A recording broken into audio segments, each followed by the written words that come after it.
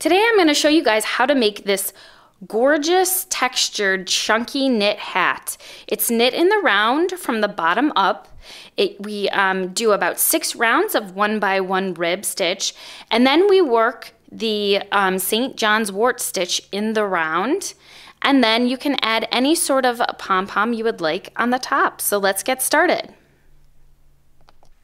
All right, the supplies you're gonna need to make this hat, you're gonna need um, one skein of Wool-Ease Thick and Quick yarn. This is the color Glacier. You're gonna need a tape measure. You're gonna need scissors, a tapestry needle, one stitch marker, and then you will need a size 10 millimeter US 15, 16 inch circular knitting needle to get started. All right. All right, so we are going to begin by casting on 48 stitches using the long tail cast on method. If you want to change the amount of cast on stitches, you just need to add or subtract in multiples of six. So that means if you want to go smaller, you'll need to subtract six stitches from 48, which will give you 42 stitches. If you want to go a little bit bigger, you'll need to add six stitches to 48, which would give you um, 54. Took me a little second there. Um, all right, so I um, I have a little bit of a larger head, and I like to make hats a little looser. So I'm casting on what the pattern calls for for 48 stitches. So give yourself a long enough tail for 48 stitches, and we're going to make a slip knot. So to make a slip knot, we're simply going to loop the yarn over and pull the yarn through for a loop. All right, and now I'm going to slip that loop onto my 10 millimeter, 16 inch circular knitting needle. And I'm gonna make sure my tail is in the front. And we have our slip knot on the needle already. So we need to cast on an additional 40, I'm sorry, I have an additional 47 stitches to get us to 48. So we're gonna make sure that long tail is in front. We're going to grab the yarn like this. All right, over the thumb and over the index finger, and then we're going to turn our hand and go under the yarn over our thumb and over the yarn around our index finger. And then we're going to catch that and pull through. So we have two stitches cast on now. We're going to just keep doing this. Under, over, pull it through. So that's three, four, five, six, seven, eight, nine, ten. This is 47, 48. All right, so now we're gonna join the work in the round. And in order to join the work in the round, I'm actually gonna cast on one more stitch because we're gonna drop that stitch to secure um, both the, the beginning and the end of the round together. So let's cast on one more stitch. So we will have 49 stitches, okay? And now a good thing to do is to set the work down and make sure the work isn't twisted. Okay, so you want to set the work down and make sure everything's flat. Because when we join, we want the work to um, not be twisted, okay? So just make sure that um, everything is flat. And we're gonna move the stitches sort of to the end because we need to bring the front and the back, the front and the ends together. All right, so we are going to slip the stitch on the left side of the needle over to the right. Just like that, okay? Then we're going to slip this first stitch that was over on the right needle over the stitch we just moved over and then we're gonna drop it. So we're gonna bring it over, okay? And now we're just going to let go of that stitch. and you can pull the yarn a little bit. And now we've connected our work. We've joined it in the round. And now is a good time to place that stitch marker to denote the beginning of the round. And now we're going to do a simple one by one rib, which is a knit one stitch, purl one stitch. So I'm gonna start knitting, knit, bring the yarn in front for the purl, purl, bring the yarn to the back to knit, yarn in front to purl. Knit, purl. And you're going to continue this all the way around. I'm nearing the end of the first round here. I'm just going to finish with my purl stitch and just wanted to show you guys how we slip the marker for the beginning of the round onto the next over to the next marker and then we begin our knit one purl one again. So we always end on a purl stitch and start with a knit stitch. So we're going to knit the knit stitches and purl the purl stitches for a one by one rib. So we're going to continue this for a total of six rounds. And um, you can start to count the stitches in the rounds. This is one round, this is two rounds. So I will meet you back here after you have completed six rounds of this one by one rib stitch. All right, so I have completed six rounds of the one by one rib. One, two, three, four, five, six. And now it's time to start our the main body of the hat and we are going to be knitting the St. John's wort stitch pattern in the round. So I will tell you exactly how to do that. So um, this repeat occurs over six stitches. So the pattern is slip one stitch, slip one stitch, knit two, then slip that first stitch over both of those stitches. And then we're just simply going to knit three stitches. One, two, three. And then we're going to repeat that pattern all the way around. All right, so it's slip one stitch, slip one stitch, knit two, one, two. And then we're gonna take that slipped stitch and pass that slip stitch over those two stitches we just knit and drop it, okay? And then we're gonna knit three stitches. One, two, three.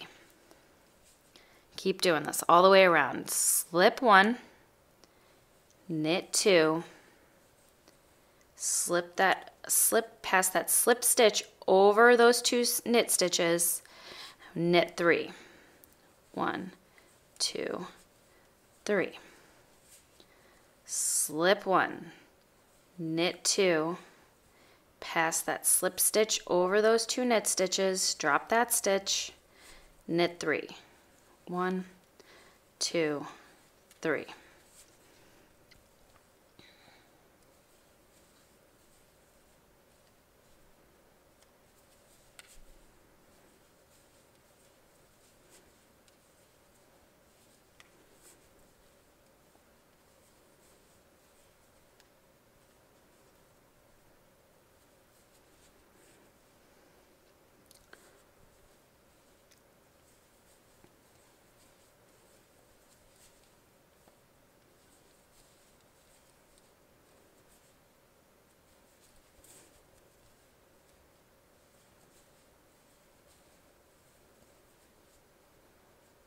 All right, we are nearing the end of our first round. See, the math should work out perfectly where you have six stitches left before the end of the round. Slip your stitch, pass that slip stitch over, and knit to the end. All right, Now we are ready for round two. And round two is knit one, yarn over, knit four. One, two, three, four. And we're going to do that all the way to the end. So it's knit one, yarn over, knit four. One, two, three, four. Knit one, yarn over, knit four. One, two, three, four. Knit one, yarn over, knit four. One, two, three, four. Knit one, yarn over, knit one, two, three, four.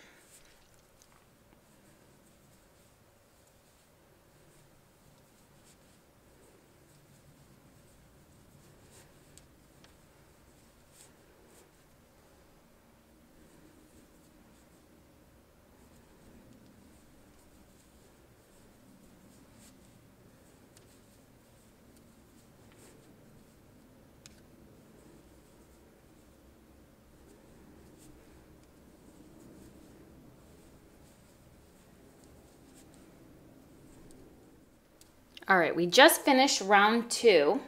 Now we're gonna do a round three.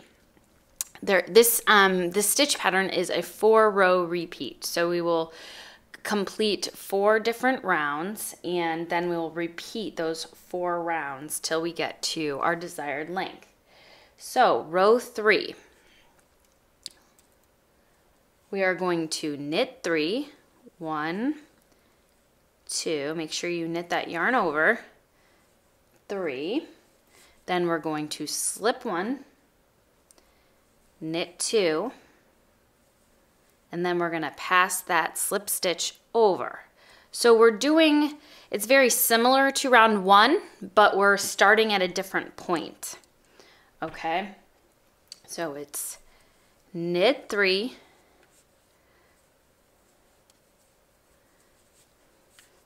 slip one stitch, knit two, pass that slip stitch over. All right.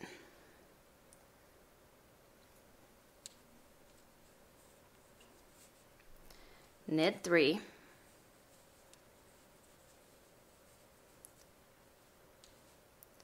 Slip a stitch, knit two, pass that slip stitch over. Knit three,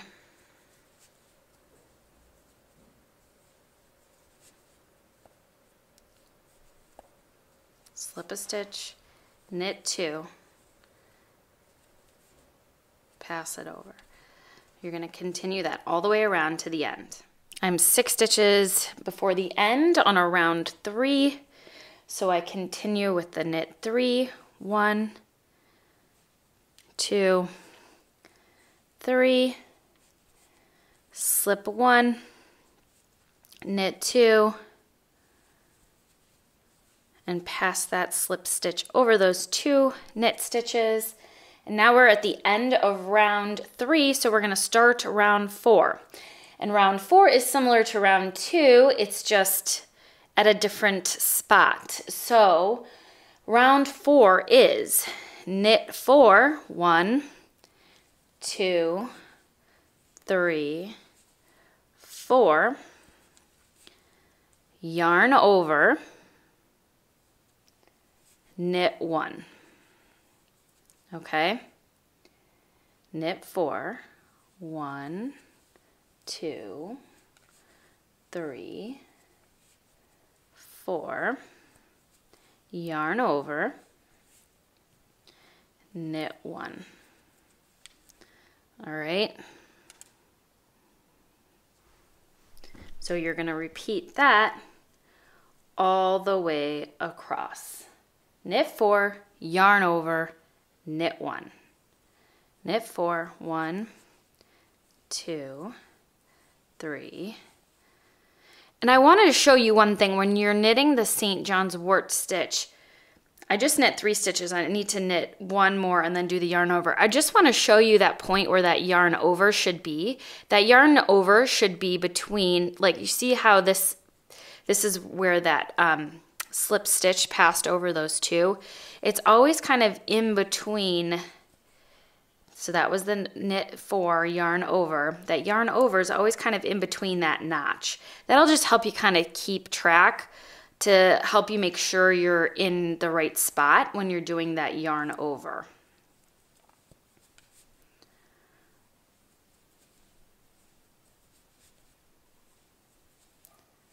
Four, I'm right where that notch is. So I'm gonna do a yarn over.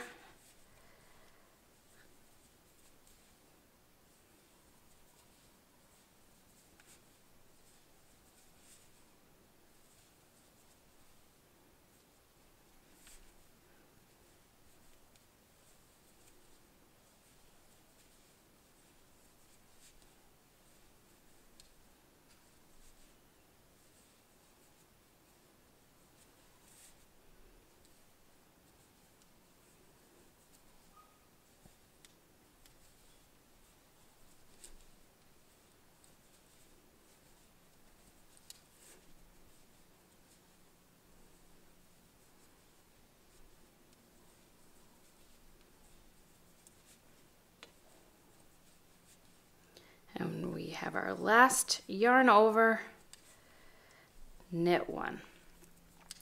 All right, so we have just completed four rounds of that St. John's wort stitch.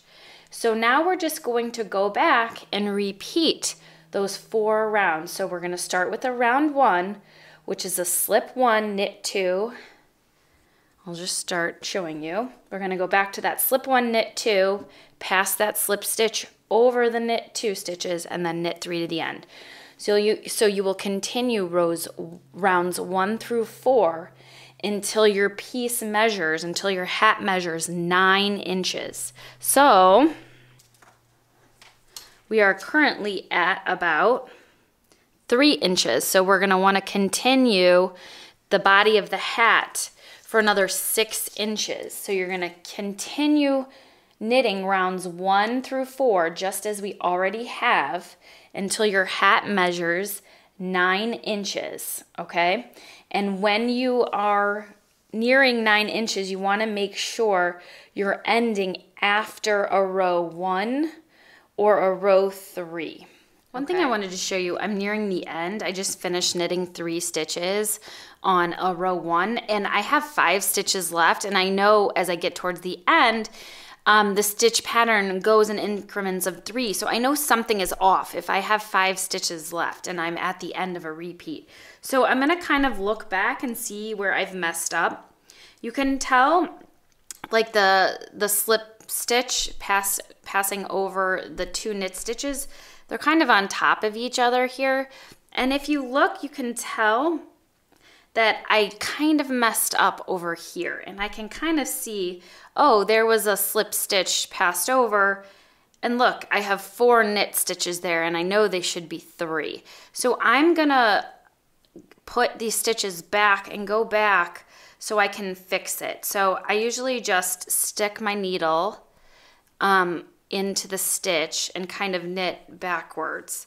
Um, it gets a little tricky when you need to fix um, this passed over stitch, but just be gentle and undo the stitch and slip those stitches back on the needle without dropping them.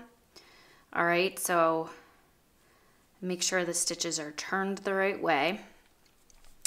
So this is where I've messed up. So I knit four stitches here instead of just knitting three. Oh, you know what it was? I didn't, I just slipped this stitch um, and I didn't um, pass it over the right way. So you can tell that I slipped that stitch because the yarn is here. I didn't knit this stitch. So that's a slip stitch. So I'm gonna knit two, pass this slip stitch over.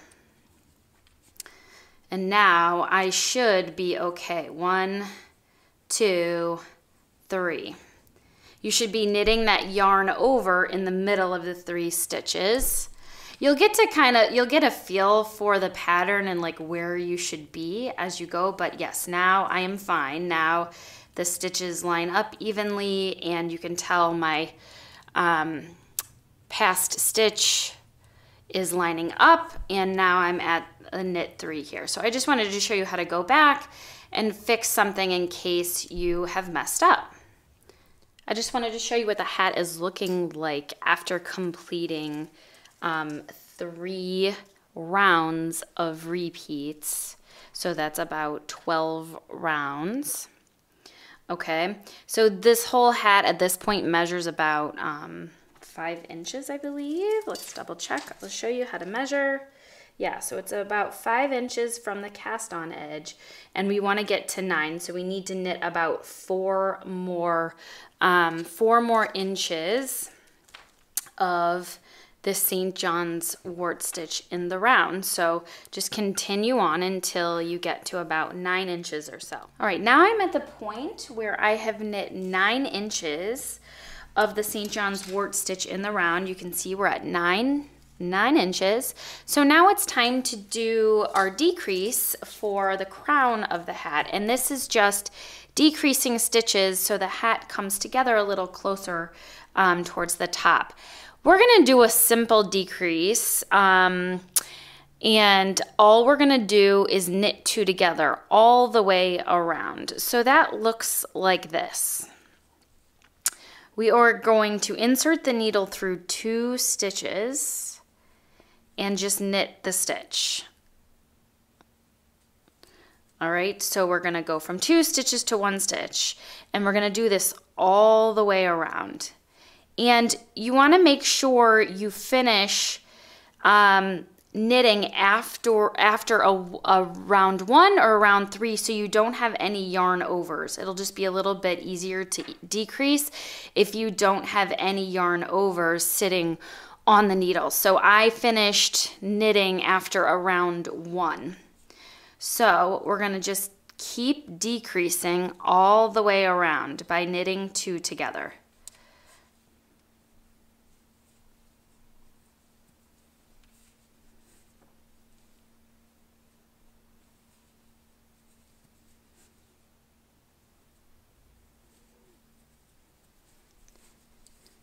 The stitches will start to get a little tight on your 16 inch needle, but it's still possible to do this.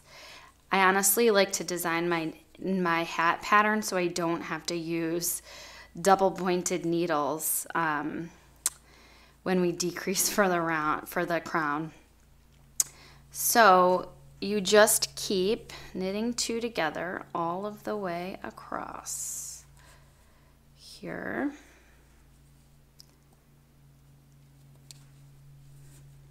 And like I said, it might get a little tight on the 16 inch circular needles, but it should still work.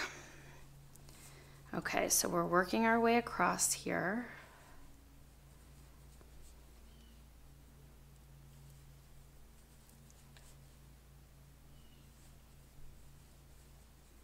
And we've got four stitches left.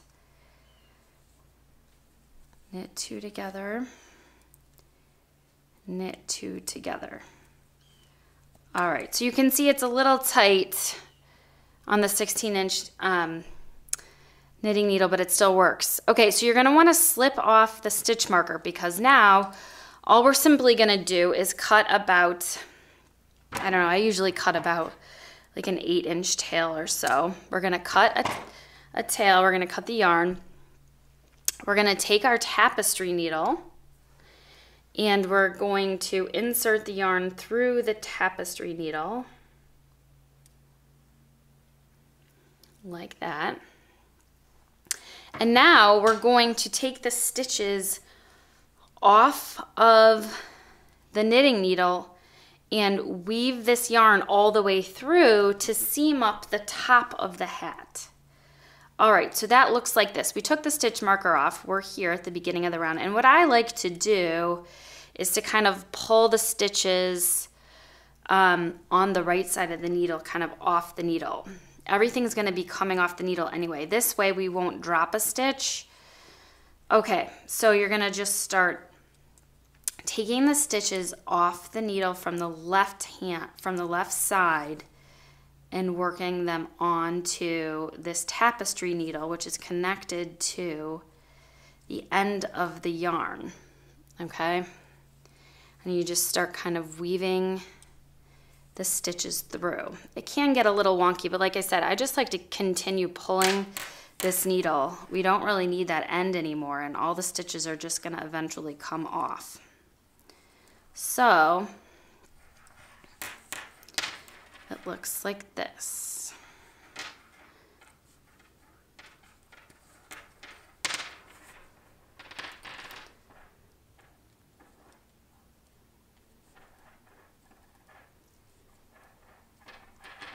All right, so all you're gonna do now is pull the yarn through and tighten it up. So you're gonna wanna pull it pretty tight. And you can see the crown of the hat. You're gonna pull that really tight, okay? Then you're gonna wanna weave the yarn back through and we can turn the hat inside out and there's no right or wrong, wrong way to close up the top of the hat. But I usually just kind of weave it through here and I do end up tying a knot so it's really secure. And I just kind of weave it back through some of these stitches and get a knot through. Tie it tight, do this a few times just to seam that up. Tie one more knot. Make sure it's really tight. And then you can cut the yarn off and weave the, the ends in. Let's weave the ends in here a little bit first.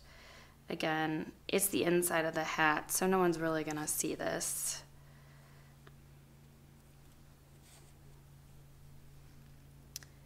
And then I'm just gonna weave it through a few stitches here and cut the yarn. And now we can weave in the end at the bottom ribbing of the hat. And I usually just, again, there's no exact science to this. You can weave in ends how you would like but I usually just take the needle and kind of like, make sure you can see here. I usually just take the needle and kind of weave it up one side of a, of a stitch here. Just weave it in through here, all the way up. Pull that through. Make sure it's not too tight. And then I just cut the yarn. And we're done with the hat and we're ready to make the pom-pom now. So the hat is complete. Again, um, you know, you can make your own yarn pom-pom or you can use a faux fur pom-pom if you'd like whatever you want right. If you're making your own pom-pom, I'll show you how to use a pom-pom maker. I love using pom-pom makers to make poms. They're just um, extra fluffy and a little more symmetrical. Um, so you're gonna wanna take apart the pom-pom maker. So you've got the sides um, kind of together here. We're gonna start by wrapping the yarn around the pom, pom maker, like this. And you're gonna wanna start in a way that where you can end up, you wanna end up, you wanna end up at this edge here. So when we bring it together, the yarn will continue along over here.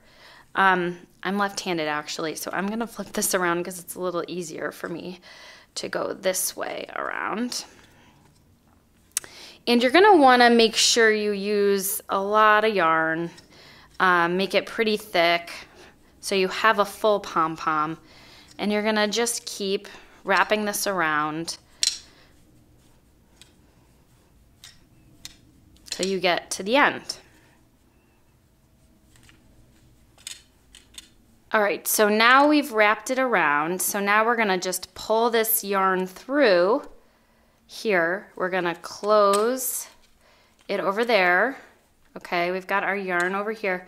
Now we're gonna open up this other side and just continue wrapping the yarn around this side of the pom-pom maker. Again, try to match the thickness of the other side. All right, so I finished wrapping all the yarn around. I'm gonna close, close it off here. Um, and then I'm actually just gonna snip the end.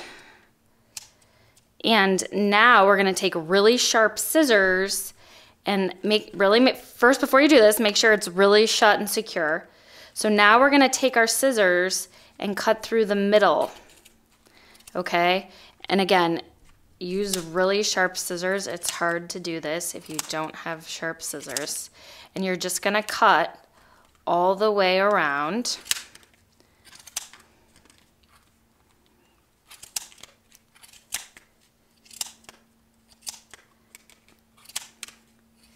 Okay, and then you're gonna take your yarn and you are going to wrap the yarn around the center. We want, the goal is to have this yarn, this, this yarn that we're tying now is holding the whole pom-pom together. So I'm gonna cut some yarn and now you're gonna, you're gonna tie a knot and make sure it goes all the way through the center. Okay, so you pull really tight and do a big knot here.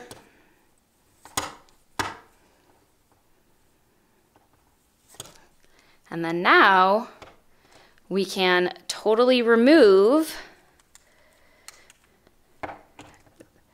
the pom-pom maker. It does come apart. I like, I don't know, sometimes I like to take it off this way. Um, or you can take it off there. So it totally detaches. And now we have our pom. And you should have the two strings um, still hanging down here that we use to knot the pom-pom. Sometimes depending on how it's looking, you might want to um, wrap it around again just to tighten it up. I might actually do that here. Um, it just helps to tighten it up. All right, and then you can snip off any crazy ends that are hanging out that might have gotten loose. All right, that looks pretty good. And now you're just gonna attach it to your hat. And you can, again, attach it any way you'd like, but I usually just take one, one of those strands and push it through one side of that little hole on the top and then um, grab the other side and push it through. And then I just tie a big old knot inside.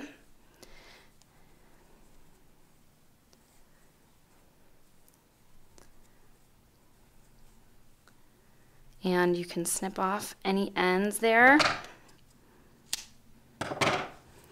And you can see how the pom is looking on the hat at this point if you want to make any other adjustments with the pom. And there you go.